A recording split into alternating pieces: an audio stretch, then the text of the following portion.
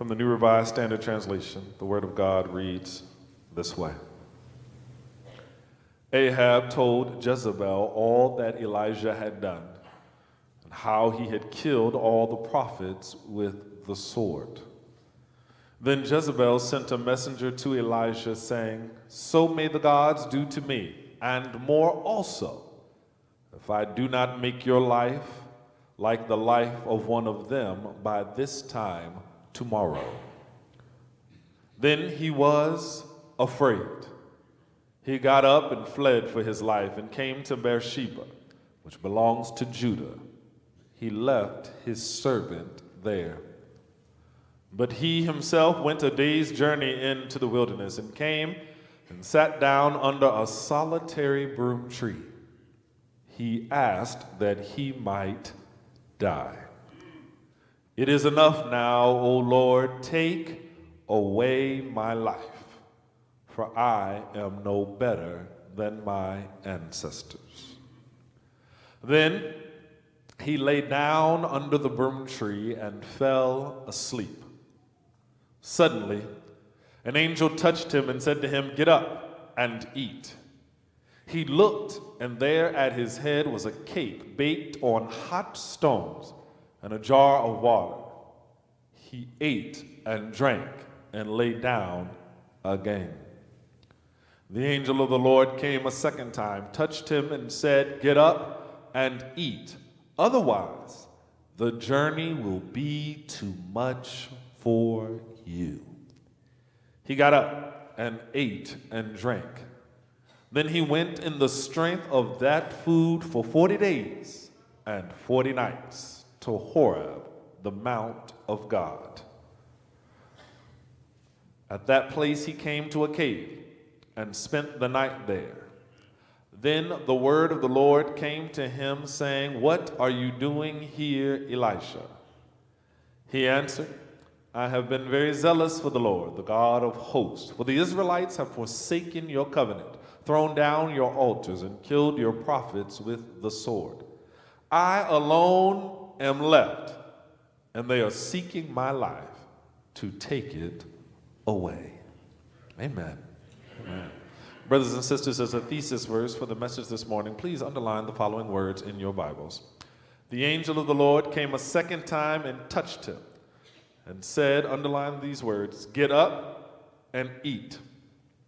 Otherwise, the journey will be too much for you.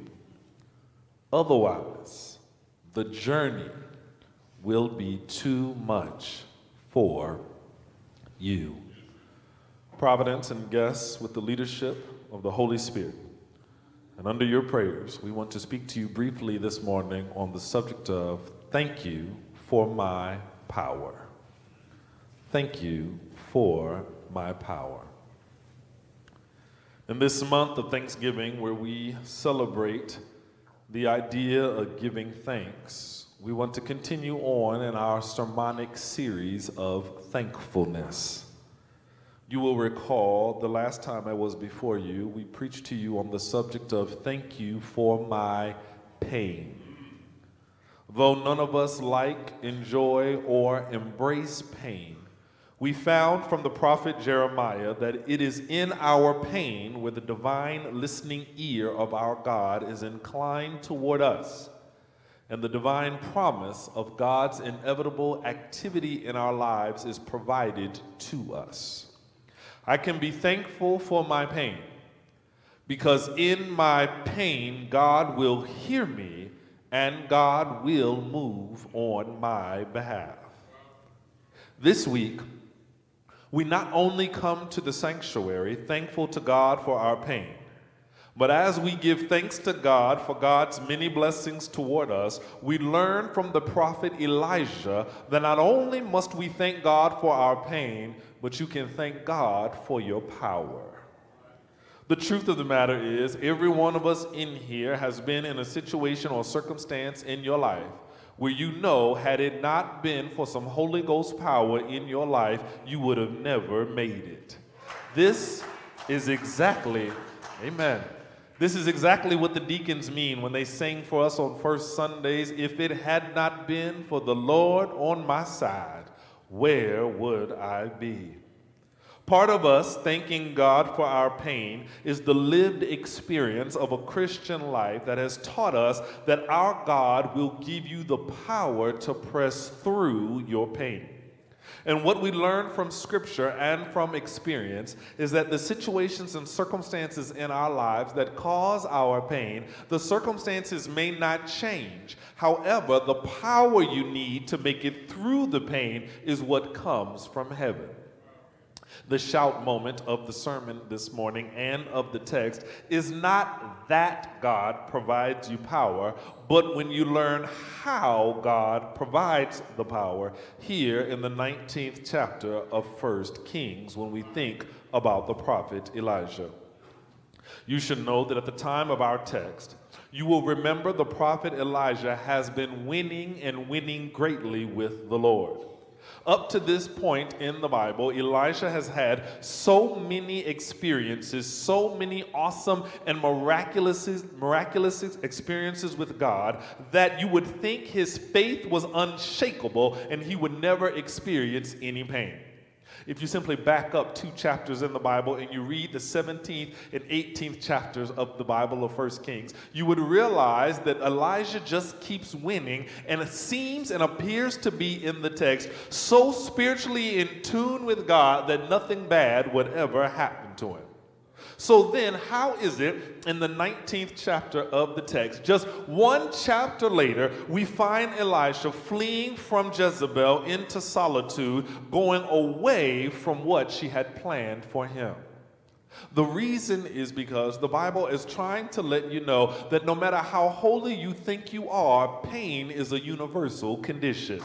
It doesn't matter how good you've been to God or how good God has been to you. Pain is coming your way at some point in time. And if by the grace of God you have not experienced any pain in this life thus far, as grandma used to say, wait a minute, just live a little bit longer. Because struggle and pain and strife are the universal condition of being a human, and they will eventually visit your front doorstep. The issue is not what will happen when the pain comes, because the pain is coming. The issue is how will you respond when the pain makes it to your address? You remember how magnificent life, how magnificent Elijah's life was leading up to this chapter.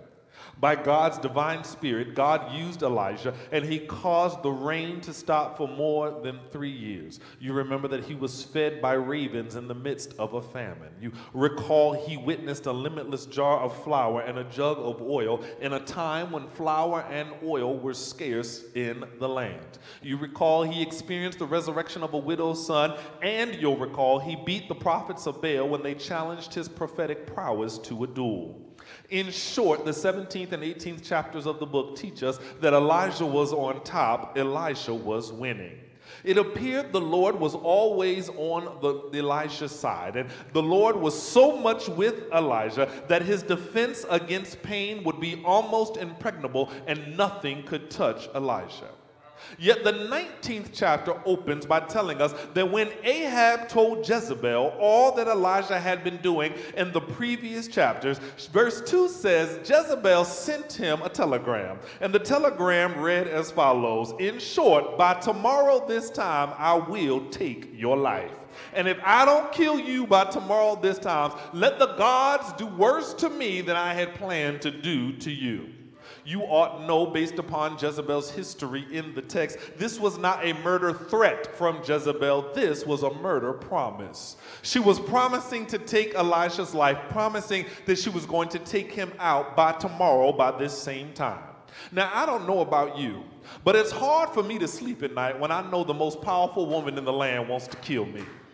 It's hard for me to feel comfortable. It's hard for me to enjoy a meal. It's hard for me to binge on Netflix, Rhythm and Love Flow. It's a great show. Have you seen this? Come on, trivia. You know what I'm talking about. It's hard for me to really sleep well at night when I know the most powerful person in the land is threatening to kill me. The Bible says quite simply in the third verse that Elijah was afraid. But the depth of, his, of the text that is used in the Hebrew is not just afraid, as in he was fearful of what Jezebel might do. Elijah was afraid because after winning with God for two straight chapters, how am I going to begin the 19th chapter with the whole land trying to kill me? Elijah was afraid because if such a threat could come against him, maybe I've sinned against God and God has taken his hand off of me, and Elijah knows what happens when God takes his hand off of his people. Elijah was afraid from the pain that we feel when other people threaten us, but we are not going to be able to threaten them because we don't live that way. So afraid was Elijah, so distressed was he by Jezebel's telegram, so problematic was the issues going on in his life that verse 3 tells us he got up and fled for his life. If you look at your text closely, don't read too fast or you'll miss too much. You'll notice he fled so fast that he left his servant where he was. I'm in verse 4. He fled until he sat down under a broom tree and he asked the Lord that he might die. The pain of his words mirror Jeremiah's struggle with the Lord from our sermon two weeks ago. It is enough, O Lord, he says. Take away my life.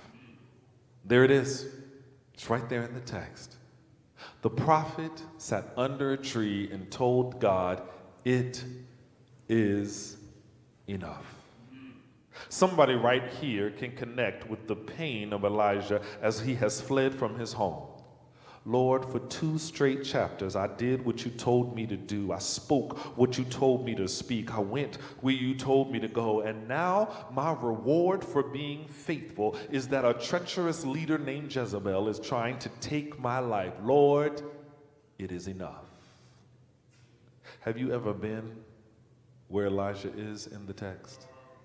Have you ever been so tired and frustrated, so hurt and angry, so overwhelmed and impatient that you told the Lord, Lord, I thought you would never put more on me than I can bear, but I am at a point where there's more on my shoulders, more going on in my life, more stress on my brain than I can bear. Lord, it is enough. I'm only one mother taking care of multiple kids by myself, and now I've lost my job. God, it is enough. I am one student dealing with a racist campus that has racist administrators who are implementing racist policies from their racist power that they have over me. Lord, it is enough. I am one employee in an organization of evil that drains my joy every time I walk into the building, and going to work every day is tearing me down. Lord, it is enough. I am one parent who loved my precious gift. And you called my loved one home before it was time. And every day I walk on this earth, I have to think about days that I am now going to miss, years and experiences that are not going to happen. Lord, it is enough. I am one retiree who did all that the company asked of me. And when I asked them simply to pay my pension as they promised, they cut my pension and they cut me. Lord, it is enough. I, I am one citizen in a country that has already put my people through slavery Jim Crow civil rights, and now we got to deal with Donald Trump. And, and now, Lord, you want me to get excited to vote for another white Democrat that wants to use me for my vote during voting season and then kick me back in the field and put me under change whenever they get into the White House. Lord, it is enough. I am more tired than tired. I'm more sick than sick. I'm more frustrated than frustrated. And I'm right where Elijah is in this text. The Bible says in verse 5 so frustrated was Elijah, so agitated was Elijah, so spent and worn out with Elijah was he was with his life in dealing with Jezebel trying to kill him that he laid down under a broom tree and he fell asleep. Have you ever been there? Life is tearing you down so bad, I just have to close my eyes. I have to close my eyes and go into an altered state of consciousness because, Lord, if I keep my eyes open and view the world as it is before me, the tears will overwhelm me. God, I have to close my eyes. I have to close my eyes because if I keep my eyes open, experience what is going on with me, the pain will press in on me so bad I just might scream. I got to close my eyes. I got to close my eyes because if I keep my eyes open and I don't get some help from my despair, I just might go crazy. I might nut up. I might go off. I might do something crazy. I might live wrong wrong. I might do more for the devil than I'm doing for you. Lord, I just have to close my eyes. I have to close my eyes because if I try to look to the hills from whence cometh my help, if I don't get some help real soon, I might do something that I'm going to regret the rest of my life. I just have to close my eyes. My, my heart is too heavy. My pain is too worrisome. My struggle is too much. And Elijah just laid down and closed his eyes. This is important in the text, brothers and sisters. I want you to experience what he's experienced. I want you to feel what he's feeling. And if you can't connect with Elijah right now in the text, as grandmother said, just live a while. I want you to see what he is seeing. And the reason why you've got to be down in the muck and the mire with Elijah is because my Bible says that the Lord your God takes care of the lilies of the valley. The Bible says the Lord your God would feed the broken sparrow. The, the Bible says that his eye is on the sparrow. And, and I believe, Lauryn Hill, that if God is watching and his eye is on the sparrow, then God is watching over me too. And right there in the text, in the fifth verse, the Bible says, Suddenly an angel touched him. Suddenly, without warning or knowledge beforehand. Suddenly, without notice or any idea the angel was coming. Suddenly, right when I needed him sooner than right now and quicker than yesterday, suddenly. In my lowest moment, the Bible says an angel touched him. Now, in just one moment, the angel is going to start talking. And in just one moment in the sermon, I'm going to break down to you the magnitude of the angel's words. But before I tell you what the angel said, can we just stop right here and deal for a moment that when Elijah was in his lowest moment, when his despair was the greatest upon him, when he had to close his eyes based upon what he was dealing with, when he was asleep under a tree from the fatigue of pain, when he was down in the muck and the mire, right when he needed God the most, God sent an angel to touch him. Now, that might not mean anything to you, but somebody in here can remember being in your lowest moment. Somebody in here remembers being down and out. Somebody in here remembers when you thought everybody had forgotten about you, and right when I needed him, right on time, the Lord sent an angel to touch me. I can think back to how bad my life was. I can remember how much struggle was upon me. And I realize when I look back over my life that right when I needed Him sooner than right now, quicker than yesterday, God did not forget about me. God has never forgotten about me. And when I needed a touch from the Lord, the Lord sent an angel suddenly to touch me. Your angel might have come in the form of a friend or a foe. Your angel might have been a phone call or a feeling. But I can testify that when I needed him, right when I closed my eyes, right when I was ready to give up, right when I felt nobody understood, right when nobody could feel my pain, the Lord saw my need and sent me an angel. And this became my shout moment in the text. Listen, I can testify I wouldn't have a PhD right now if the Lord hadn't saw me down in Ann Arbor and sent me an angel. I, I never would have stepped in this pulpit if the Lord God hadn't saw my despair and sent me an angel. There's no way I could go to funeral after funeral, funeral home after funeral home, cemetery after cemetery, and still preach this gospel if the Lord had not sent me an angel. The angel, the angel the ones you didn't even know were coming on your behalf, the ones you didn't even realize were there, the ones who reminded you of what the song says, which is all day and all night I see angels and they're watching over me. And when I needed him the most, when I needed to depend on God the most, when I needed to lean on something greater than me the most, the Lord sent an angel. And I finally have gotten to a point in my life where I can testify out loud. Do you realize it was not my intelligence that helped me get through? It wasn't my strength. It wasn't my human ingenuity. It wasn't my gut. It wasn't my experience. It wasn't my mommy or my daddy. It wasn't what I do for a profession or how many degrees I have. It was nobody but the Lord that sent me angel after angel after angel when I needed him. He sent an angel to watch over me. He sent an angel to help me. He sent an angel to cover me and to encourage me and to keep me. And right when Elijah needed God the most, the Bible says he sent him an angel. Listen, some of your angels are strangers that you'll never meet again. Some of your angels are sitting next to you right now.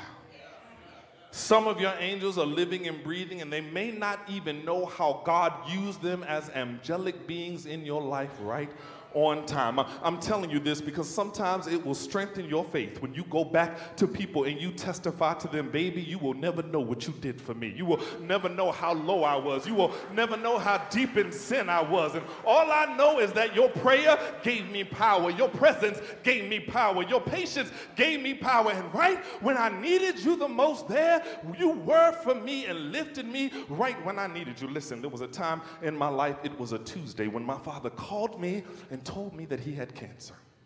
I was worried about my dad. I was worried about my mom. I was worried about how they were going to make it through. And it hit me like a ton of bricks. And the very next morning, I had to get up and teach Bible study. I didn't feel like teaching Bible study. I didn't have it in me to teach Bible study. And so, in my 12 p.m. Bible study, many of them will remember this. I stood up to start teaching the class, and the emotion overcame me. And I just started crying. Tears started coming down from my eyes because I wanted to get out of Atlanta and get home to be with my dad. And, and I said to myself, Damon, tighten up. You got to to teach class, but I couldn't. The tears kept coming from my eyes. And the more I cried, the more my 12 p.m. members got up out of their seats and they came over to me, and tears were in their eyes. And we just hugged and we prayed. They will never know what they did for me that day. They, they will never know that right on time when I needed God to send me an angel, there they were right on time. My, my dad didn't tell me on a Monday, he didn't tell me on a Thursday. He told me right when he knew I would see my members the very next morning. Thank God he sent me an angel.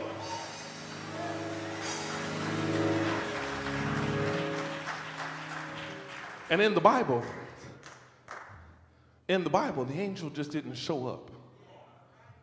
The angel spoke. He said to Elijah on two occasions, Get up and eat. Otherwise, the journey will be too much for you. Get up and eat. Otherwise, the journey will be too much for you. Fill yourself with what you need to make it through the journey. Get up and eat so you can see the move of God with a full stomach and with open eyes. Get up and eat and realize that the Lord has never forgotten about you and the Lord will never forsake you. He says, Get up and eat. Thank you for my power begins by point one, the fact that the Lord sends an angel. Point two, that the angel always has the words that I need to hear. This is the magnificent part of our God. God knows you so well that God knows exactly what you need to hear when you need to hear it. Isn't it good news that our angels speak to us as we have need and they give us the specific information exactly at the time we need to hear it? Uh, somebody in here can remember you heard exactly what you needed to hear listening to somebody else's prayer. You, you heard exactly what you needed to hear listening to somebody else's song. You, you heard exactly what you needed to hear when somebody called you and checked in on you. And the angel told Elijah exactly what Elijah needed to hear for the journey would be too much. The angel did not say, I'm going to kill Jezebel on your behalf. The angel didn't say, I'm going to remove Ahab and Jezebel from leadership. The angel didn't say, I'm going to restore you to authority and to power. The angel didn't say, I'm going to work this out as you want it worked out. The angel said, I'm not going to give you what you want, but I will always give you what you need.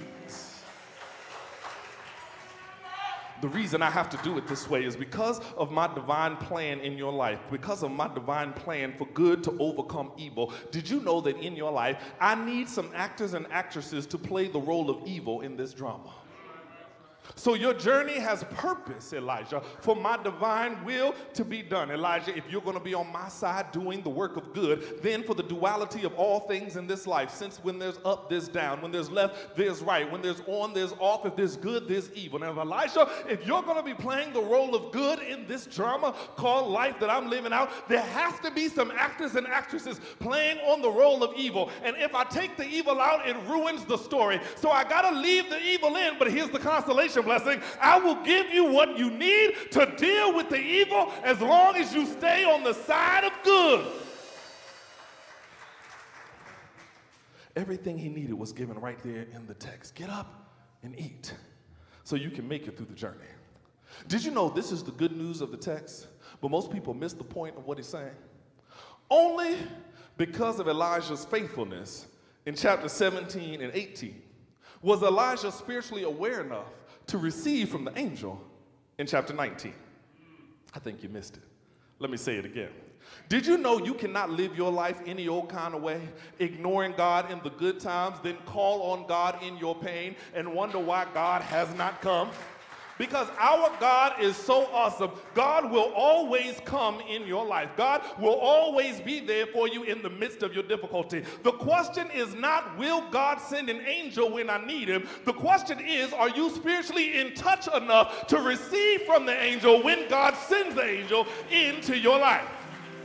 Power from God comes from the presence and the proclamation of the angel. But you've got to be in touch enough in the spiritual realm that when the angel comes, you are ready to receive from the angel. And here's why. Look at your Bible. Don't look at me. It's right here in the text. Notice in the text that after listening to the angel, Elijah does not speak to the angel. Look at the book. I'm not making this up. In the Bible, when the angel speaks to Elijah, Elijah does not speak back to the angel. He listens to what the angel has to say and he obeys what the angel tells him to do, but he does not say anything to the angel. This is important. Did you know that most of the time when God is trying to bless you and telling you what you need to do, you and I do much more talking than we do listening and obeying? And every now and then, if you want to really receive your blessing from heaven, when someone comes into your life and tells you to do something, before you respond, I can't, I won't, it won't work, it won't happen, God won't, the people won't, it doesn't happen. Before you get to talking, why not try listening and obeying before we get to speaking? You don't have to say amen. I know I'm right. It's right here in the text. And he says, get up and eat. Now watch this. He got up, he ate, and he drank. This should bother you. Did you know in Elijah's day they didn't have microwaves? Did you know that in the days of Elijah they didn't have Uber Eats? So if the angel tells Elijah to get up and eat, somebody has to cook. But if you look closely in the text, the Bible says when he got up, the cooked food the Bible gives you specificity. Look at the book. Don't look at me. Look at the book. As if it was prepared on a hot stove, was already at Elijah's head. Now I'm confused. If I'm listening to the angel, who's cooking the food? This is what you should be asking yourself. And you then should realize in your life that you serve a God who every now and then, when you choose to be obedient, God will do the legwork on your behalf. Uh, there's some people in here who can shout right now. You got some things going on in your life you didn't work for, you didn't do the cooking, but God laid out the meal. You, you don't deserve that job, but you got it anyway. You didn't work for that degree, but you got that anyway. You didn't do what you were supposed to do, but God kept making a way out of no way. Uh, because when I listen and obey, uh, my God is so good, He will provide and provide and provide again.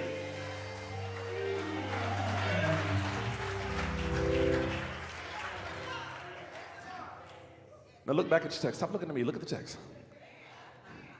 He gets up, he eats, and he drinks. Look at the Bible. And because he obeyed the Lord, what he ate was enough to satisfy him for 40 days and 40 nights. because it came from God, it lasted. You missed it in the text every now and then when you and I are in pain and when we are in trouble, one of the reasons why we stay in pain is we keep trying human remedies for our spiritual sickness.